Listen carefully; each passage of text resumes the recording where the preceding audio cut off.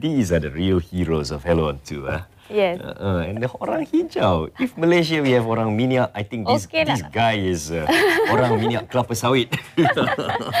So okay yes, lah. our hijau, uh, okay uh. lah, is back uh, Okay from lah. straight off the plane. Uh, back Yeah. from Germany. Mm-hmm. Welcome back, Matthias. Thank you. Matthias Gelber. Uh, mm-hmm. this morning with our two guests, we have Dr. Nurul Muiz Murad, who is the mm-hmm. CEO of Green Earth Design Solution, uh, which we'll be sharing with you, as well as Najib, who is the consultant of Green Earth Design Solutions. Remember, hi, good morning to all of you. Thank you for joining us. Good having us. morning. Morning. Yeah. Morning. Mm-mm. First off, yeah, I understand you want to share with us something. Yeah, from Oh, Germany. yeah, I'm Yeah. still sleepy, you know, jet lag, you know, and all these kind of things. But uh, it is not so big, the uh, time difference, seven hours. And I kind of try Okay to stay somewhere in the middle. Yeah. So I feel okay, lah, even though sleep was a bit short.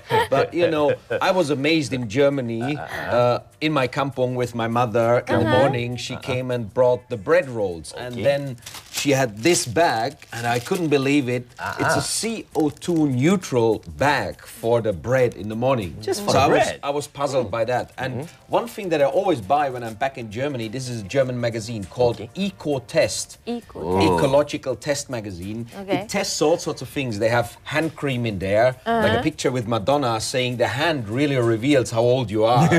And, uh, they test all the hand creams that are being sold in Germany according to ecological criteria. They uh. give very good, good, mm, mm. or not so good, mm. depending on whether there are any toxic ingredients in there, mm-hmm. how healthy it is for you. Mm-hmm. So really the consumer choice, us as consumer making a choice and us having the information to actually know what is eco-friendly and what is not is very, very important. And I hope in, in you know soon that in Malaysia we have this kind of information as well to empower the consumer to say, hey, this is green, this is not green. And I think that's why we've got our friends here uh, from the green building segment here. Mm-hmm. Mm. Buildings are very, very important. Yesterday, I was taking the LRT. I arrived at Bangsar LRT and I felt the staunch smell. They were just doing some refurbishment there, mm. and I checked it out. They were using solvent based glue there, which is actually mm. damaging for people, damaging for the environment. Uh-huh. And it was a shop that was advertising healthy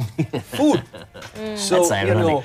I was asking myself, is this a lack of knowledge or do, don't we connect the dots here? So green buildings and what we can do as consumers to get mm-hmm. more healthier building, more eco-friendly mm-hmm. building, I think is going to be critical for the environmental performance of the nation in Malaysia to achieve the Prime Minister's target of 40% carbon intensity reduction that he announced uh, in uh, Copenhagen some years ago.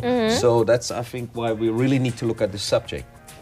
And that's why you brought with us uh, from the Green Earth Design Solutions in Berhad, Dr. Nur is Tell us more about the company and what you're actually, how your business is a green business. Okay, um, I, we start, I started the business in 2009. Okay. Before that, I was in Australia for 15 years. So coming back here, uh, giving back to the country, you know, setting up the company. So our core business currently, we are doing green building consultation. Uh, we provide solutions as well, you know, for our clients. Uh, we do small scale and medium scale green constructions for, for homeowners and building owners. And we are also uh, a solar PV panel uh, solution provider as well. So that's our core business. That's what we do. Okay. And uh, Najib, you're a consultant for uh, Green Earth Design Solution, Yeah. right? Uh, so, uh, what kind of um, advice do you give your clients? I mean, like we give what clients what they want. They want to mm-hmm. be green, so we do. We go into the project. We tell them what to do in terms of providing, helping them to reduce energy consumption of the building for mm-hmm. start. Mm-hmm. And there's popular green building certification in the country, which is Green Building Index. So that's the the green building assessment tool. So we help the clients to achieve that standard for their buildings. Uh, how many green buildings do we actually have here in Malaysia? Um, if you're talking about GBI, Green Building Index was formed in 2009. So I think we have about close to maybe around 20 to 30 certified Yeah, projects already these days. certified project. Yep. Yeah. Okay, and when your clients ask, first of all, who are your clients so far, and how do you explain to them how your products are actually green? Uh, well, most of our clients are currently major developers, uh, so we work with them. Um, and at the moment, we have projects uh, mostly in KL, Klang Valley, uh, Malacca, Penang, and Johor. You know, so we emphasize more on cost savings to the client because one of the biggest myths Yes, in with green going building green is it that costs a lot of more. money. But we try our best to uh, demystify that, you know, uh, by working with our clients and developers during early stage of design. So so far we are quite successful successful in it. You know, uh, we've managed to um, get involved in a few projects in which the development cost often in green is not as much as what people would, would think. Yep. So that's one of our main contributors to the to the product. yeah. For example, the uh, Bangsar Health Shop that uh, Matthias mentioned just now. what went wrong? what went wrong? What should have been done? Well, um, the, the, the problem with this industry at the moment is that uh, there's no certain uh, benchmark or standards for green building consultants. So therefore, there's a lot of consultants going around uh, preaching green, but in actual fact, that you know, um, the advice that's been given varies. You know, so it's very important to um, select you know, a, a correct, uh, you know, consultant uh, to work for, for you in any green building project, so that um, in terms of advice, you know, given, you know, it's it's it's more holistic, you know, overall rather than focusing on one or two um, areas within the green building. So. Um, my guess is, you know, in such uh, projects, you know, uh, things goes wrong when, you know, the, the advice given, it's not overall, it's not holistic, but it focus only one or two. Let's say, for example, energy or water instead of indoor environment quality, materials and things like that. Yeah. I think one other issue is as well, there's often a disconnect between the company that actually runs a place or owns the building and the contractor. You know, mm. nobody really mm. feeds through to a contractor or controls the contractor. Then a contractor comes in, uh-huh. you know, lays a new carpet uh-huh. or refurbishes, and you find that very often in shopping malls. You go across uh, a shop that is being refurbished, and you have all of this smell of the solvents, the formaldehyde Exactly. stuff coming in. And that was exactly what happened there. I even took a picture of the glue that they were using with a solvent in there. And it actually says, oh, you have to make sure that the place is well ventilated. That already gives you an indication there is toxic stuff in there that's going to destroy people's health.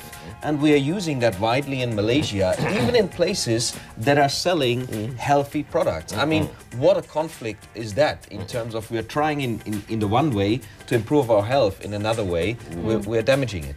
Yeah, that's right. Uh, and the worst part is this that shop owner can actually say, Catch me if you can. There's nothing to stop him from doing it, right? That's right. That's Because so- everybody is doing it. Ah, there's no um, law against it. There's nothing we can do against it. So Exactly. um, perhaps uh, what can we do uh, apart from the struggle of our green man, uh, bringing out awareness to Malaysians and contractors out there? How is that going to happen? Well, um, here we are, you know, uh, from 2009 up until now, um, we're, we're, we're prospering as a company. And we're here not just to, um, as, as, as, as, a, as a business entity, but our function here is to give back to the country, to educate uh, the public, you know, through our work, you know, uh, because of the fact we are 100% Malaysian, you know, so we are very passionate in the things that we do. We're involved in the project from start to finish, you know, so we're on the ground with the contractors, with everyone to make sure that, you know, on design is as what it's supposed to be, and in practice, uh, you know, it applies to that as well. It's a You know, yep. Okay, Najib, we're still staying on the challenging aspect of running a green business. With joining uh, Dr. Nurul is what has been your biggest challenges so far, especially in uh, the mindset of people? Has it been a challenge to have people accept this new way? Uh, it's starting to change. I mean, if you've been here in this industry for so long, I mean, five years ago, talking about green is almost impossible. But these days, people talk. People start listening. It's getting easier that way in the sense that people start listening and start accepting your advice. Mm-hmm. So people start opening with, uh, you know, getting sol- installing solar panels in their houses, rainwater housing system. You know, people start opening, looking to long term. Green concept is always, always about long term. You mm-hmm. put more in in capital investment, but in the long run you save more, and mm-hmm. people start to look into that more. So that's key. So, yeah, I mean that's a key part. I think one critical thing for all of our viewers is that they actually start asking for those green features when they buy a new home, mm. or even if they look at creating their own home. Let's do it for the sake of your future generations and for your own pocket money as well. Right, because if you have an eco-efficient home, uh, that will save you money in operational terms. And isn't it a good thing if your children could sleep in a healthy room rather than your children breathing in toxic chemicals when they're in their own bedroom or they having they needing blasting aircon all the time? so I think you know that is very very relevant because I went to a showroom the other day and I asked the guys there, so what's green about their building? They said nothing. Consumers are not asking for it. There's no demand. I think we have on the commercial level we have a lot of businesses asking for it, but on the residential level. So so what should actually our viewers ask for, look for when they buy a new home? Yeah, yeah. Um, one thing's for sure, you know, um, I think uh, they have to make sure that, you know, if uh, they're buying a green home, for example, you know, it has to be designed properly in terms of the green features. You know, so some developers they do provide um, consumers with a with a with a checklist or a list, you know, of what they should look for. But uh, one thing's for sure, you know, uh, make sure that the, the building is properly insulated.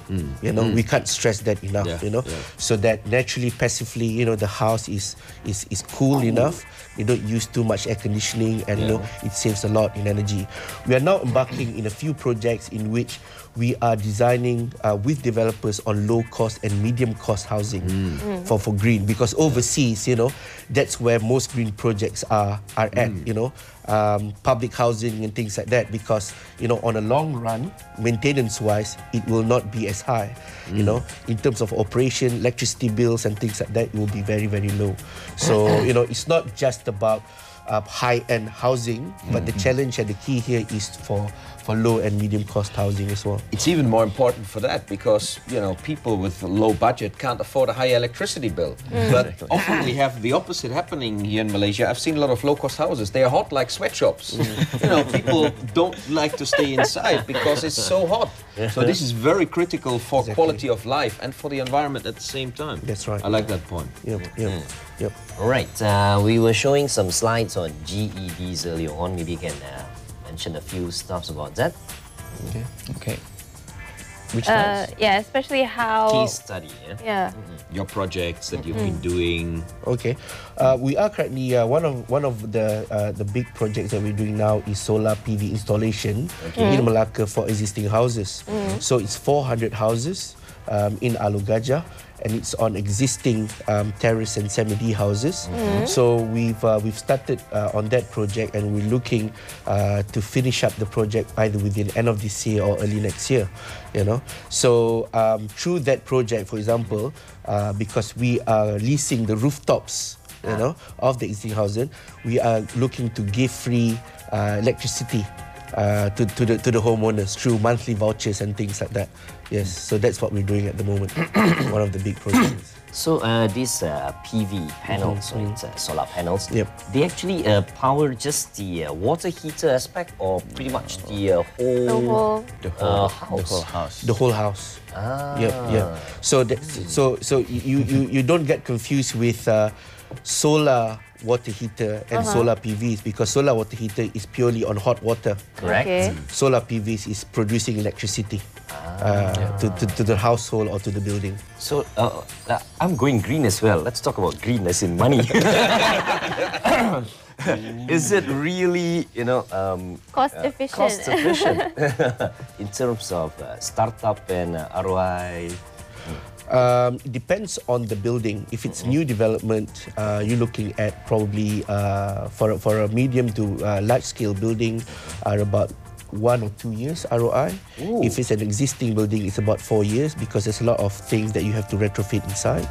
Uh, but we normally go uh, for, for example, existing residential houses. We follow the budget of the house owner. So let's say, for example, he has a budget of certain ringgit Malaysia. So, so we'll make sure that we provide a few green options for them so that they get maximum uh, greenness, you know, out of uh, you know their renovation or or you know uh, retrofitting uh, projects. So that's what we do. There are even tax incentives by the government. That's if you go for the Green Building Index certification, you can get some of your money back if you had to spend additional money for certain green features. So the, uh, Malaysia is actually in a quite good position. yeah. The, the fact that the government right? is providing extra support there. Yep, So yep, yeah. yep. Government wants TNB to go bust. We have tax incentives. We have uh, we have soft loans provided by the government as well. So that means uh, you know uh, if you want to go green, you know, um, out of pocket expenses, you know, it doesn't have to be that case because we can help our clients, you know, in terms of financing and things like that. you know. And free solar PV, did I get that right? Like in yeah, I heard that as well. I heard that as well. Free solar I want to know more about that. Yes, yes, Uh, yes. Cool. All right. Uh, now, uh, you guys are having some talks sometime this week, right? Uh, I, I'm giving a talk end of this week, Saturday, at uh, Green City College. Uh, these guys are a great example of green jobs, green economy. Mm-hmm. Uh, I get asked a lot by young Malaysians who have their parents maybe doubtful that they can earn money and get a good job with their mm-hmm. green belief.